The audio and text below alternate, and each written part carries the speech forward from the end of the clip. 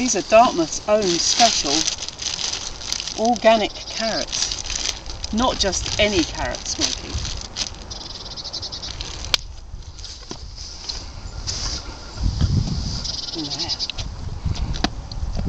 Nice.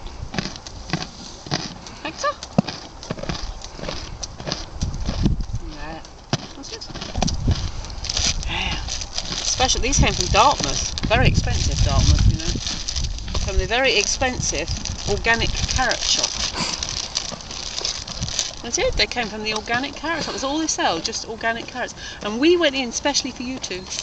We did. We said, never mind what else we do today. We must go into the organic carrot shop.